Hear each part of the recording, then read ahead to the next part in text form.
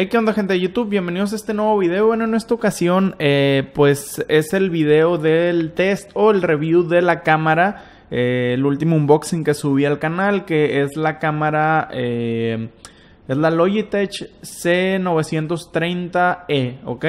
Entonces, hay muchas cosillas que tengo que ver. para empezar, la calidad está muy buena. Pero eh, hay que saber como que medio acomodarla. Ahorita la que ustedes están viendo no es la completa, digamos, es la que me está dando, ah, pues ahora sí que mm, nada más la puse y va. Ni siquiera creo que esté como en HD, pero pues bueno.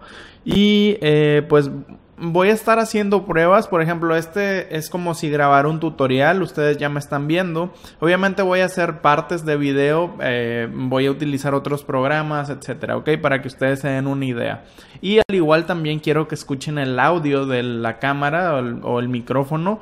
Para que se den una idea de cómo pues graba también, ¿ok? Pero bueno, vamos a empezar con esto. Ok, gente, por ejemplo, eh, ustedes ya están viendo lo que viene siendo pues la cámara, estoy utilizando el Action, prácticamente se supone que estoy grabando el, escritorio, pero pues hice mucho más grande, pues ahora sí que la cámara, entonces es prácticamente toda la imagen, pero este, pues básicamente esta es la cámara, creo que aquí sí estoy utilizando los 90 grados, este, entonces ustedes pueden ver una cámara regular. Me estaría grabando como por aquí y pues se expande, ¿no? esto se puede, mm, digamos que, ¿cómo les puedo decir? Esto se puede, esto se puede configurar si tú quieres que grabe así a, los 90 grados, si se puede decir, o si la quieres como en 70 aproximadamente. Entonces, pues eh, ya depende de ti, depende de las configuraciones, al igual, este, pues las luces y todo eso, ¿ok? Pero bueno, vamos a pasar al, digamos, software, entre comillas, de Logitech, que pues eh, hasta ahorita no he visto si se, creo que no se puede grabar con ese software, solo prácticamente nada más es para la configuración de la cámara, pero bueno, vamos a ver qué pasa. Ok gente, entonces vamos a abrir lo que viene siendo el programa. Como pueden ver, este, ahorita estamos en estándar. Este es el programa que te deja descargar Logitech. Entonces ahorita estamos en estándar. Si yo le doy aquí a widescreen, eh, se abre, digamos, como pueden ver la diferencia.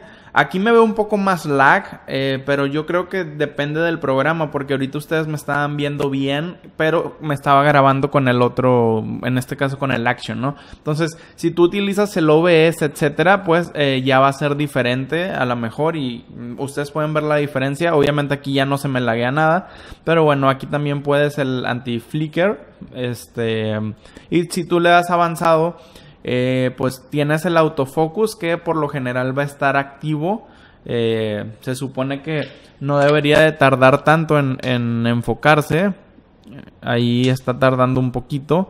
Yo creo que también depende de, de este pues qué tanto luz y cosas así haya, ¿ok?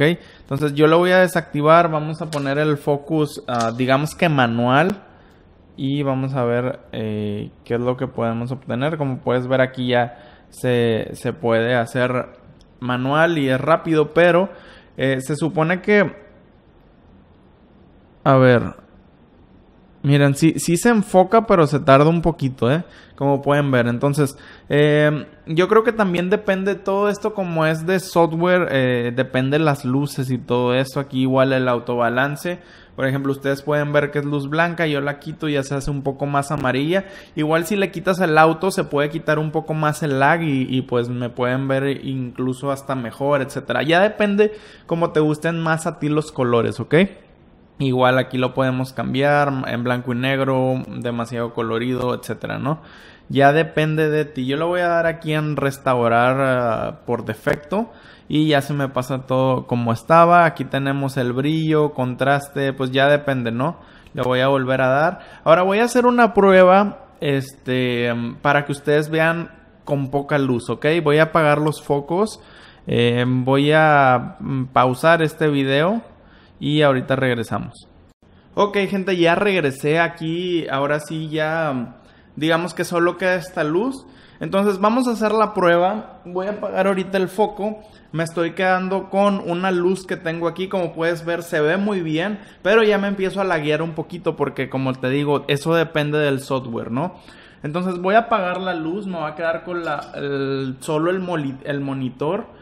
Eh, es muy poca la luz que tengo del monitor. Como puedes ver, casi no se me ve. Eh, bueno, nada más alcanza a distinguir un poco la cara. Voy a tratar de abrir una página. Como pueden ver, aquí ya abrí eh, la página principal de Google. obviamente la pantalla ya me suelta mucha luz y como puedes ver ya cambia, ¿no? Ya cambió con poquita luz. ahorita simplemente la pura luz de mi monitor. Es todo lo que hay de luz. Obviamente si yo prendo aquí ya va a cambiar, me quito un poquito el lag aparte y me veo mejor. Ahora si yo prendo otra vez el foco ya cambió más, entonces como todo esto depende del software se va a estar ahí como que um, va a depender de la luz. Ahora vamos a cambiar de luces. Aquí por ejemplo puedes ver que tenemos una luz tenue. Este... Um, en realidad es una luz muy muy baja y yo creo que digamos no es la mejor calidad que espero pero eh, se puede ver está bien. Ahora vamos a cambiar de luz. Ahorita es un poco más fuerte pero es luz amarilla entonces tú ya te puedes dar una idea y vamos a pasar a luz blanca de nuevo y aquí estamos eh, otra vez. Ahora Ustedes a lo mejor me pueden ver un poco más igual como luz amarilla, pero es por el, el autobalance, digamos. En realidad, esta es la luz blanca que tengo. La cambiamos. Esta es la luz que em, tenemos ahorita, digamos la más baja. Luego, por ejemplo, le doy en auto, cambia. Y esta es la original. Esta realmente es la luz que yo estoy viendo ahorita, la que ustedes están viendo, ¿no? La vuelvo a poner, esta es luz amarilla. Entonces, a eso me refiero, gente. Este, como todo esto es por software, eh, se puede, depende la luz que tengas. Eh, eh, yo creo que es como se puede ir lagueando. Obviamente, si tú, si tú desactivas el autofocus, si tú desactivas este, el autobalance, es mucho mejor, ¿ok? Pero bueno, ahorita regresamos. Ok gente, pues ah, ahorita están viendo eh, un video ya grabado directamente con el OBS. Como les decía, la cámara no trae como un software para grabar el propio video, pero em, tienes que conseguir un software externo, en este caso es el OBS. Eh, ahorita tengo, digamos, las dos luces encendidas y yo le apago. Ahorita solo me quedé con la luz esta que tengo aquí adelante. La voy a apagar. Y como puedes ver ahorita tengo menos luz todavía. Y pero como quiera se... digamos que trata de agarrar o trata de aprovechar toda la luz posible, ¿no? Todo lo que le podamos poner la va a tratar de aprovechar. Como puedes ver ahorita solo tengo esta luz. Y si me veo un poquito de lag como puedes ver. La voy a apagar y aquí me voy a ver todavía más lag, ¿ok? Entonces, conforme la vaya metiendo más luces, se va a ir viendo menos lag. Como puedes ver aquí, se va viendo un poco menos lag. Miren, ven, ya se ve menos lag. Entonces, conforme le vayamos poniendo más luz, se va a ver mucho menos lag este pedo. Obviamente porque está en el modo automático, pero si tú le quitas ese modo, eh, pues no vas a tener problemas, ¿ok? Yo no creo que tengas problemas si le quitas el modo automático. No se te va a ver nada de lag, etcétera, ¿ok? Entonces, gente, eh, vamos a pasar. Ahorita están escuchando el audio de este micrófono de condensador pero vamos a pasar al micrófono de la cámara para que puedan escuchar cómo pues realmente se escucha, ¿ok? Y bueno gente, ahorita me están escuchando con el micrófono de la cámara directamente, si no me creen, oh, como pueden ver no se satura aquí, aunque le hable directamente al micrófono no se satura porque no está prendido, ¿ok? El que realmente está prendido es este, entonces pues así se escucha. Por ejemplo, ah, ahorita voy a hablar normal, sin gritar. Hola, ¿cómo estás? Eh, estamos teniendo una conversación por Skype común. Entonces ustedes pueden ya darse una idea de cómo se pueden escuchar. Ahora también si puedo gritar, hey, ¿qué onda gente de YouTube? Bienvenidos a este nuevo. Entonces ustedes pueden ver las diferencias de eh, micrófonos. Obviamente eh, bueno, vamos a pasar de nuevo al micrófono de condensador. Ahora sí, gente, ya estamos de nuevo con el micrófono de condensador. Y pues volviendo al tema, eh, no esperen mucho obviamente del micrófono de la cámara. Está, está aceptable para hacer una cámara web, recordando. O sea, si vas a hacer una llamada rápida, eh, pudieras usar el micrófono de la cámara está bien. Pero obviamente yo te recomendaría que utilizaras otro micrófono externo. No necesariamente tiene que ser un micrófono de condensador, o sea, puede ser un micrófono de diadema, etcétera. Eh, por ahí tengo un micrófono de corbata. Si lo quieres ver también ya está subido al canal. Solo busca los unboxings.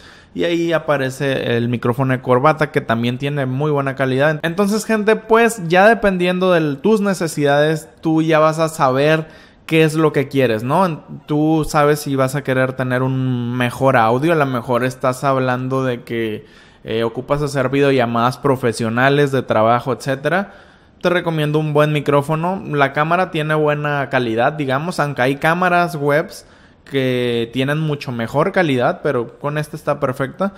Entonces, eh, pues ya gente, es todo lo que les puedo decir. Eh, la verdad yo sí me quedé muy bien porque yo tenía un, yo tenía anteriormente hace años una Logitech ah, que era C270 creo, nada más grababa hasta mil hasta 720 píxeles, ¿ok? Entonces, em, ahorita ya dimos el salto de nuevo a 1080, pero me quedé mucho tiempo sin esa cámara. Entonces, la única cámara que yo tenía realmente, pues era la que tiene integrada en, la laptop. Entonces, en este caso, como ustedes pueden ver, esta es la cámara eh, que tiene integrada mi, computadora. Entonces, no es muy buena calidad. A lo mejor ustedes ahorita no, no están viendo eh, mucho la diferencia, pero si yo extiendo aquí el video, para empezar ni siquiera se puede hacer panorámico. Se supone que esta, ojo, se supone que esta cámara llega hasta 720p. Igual déjenme ver ahorita si tiene alguna configuración, pero como pueden ver, esta cámara sí tiene mucho ruido, entonces eh, no me gustaba para nada. Además de que eh, no juega no juega para nada con las luces. Como pueden ver ya lo cambié a 720 aquí ya cambié un poquito.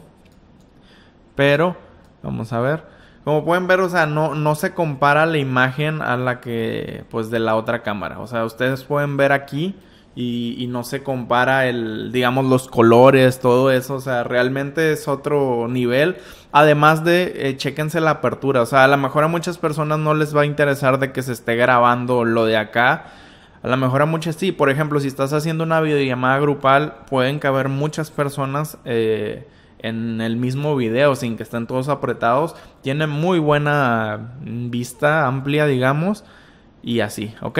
Entonces gente, eso sería todo por este video tutorial, espero que te haya gustado este video, si fue así por favor regálame un like, te invito a que te suscribas al canal y no te olvides de dar click a la campanita para que te llegue notificación cada que subo un video nuevo. Entonces si no hay nada más que decir gente, me despido, yo soy Fora93 y nos vemos hasta un nuevo video, bye gente.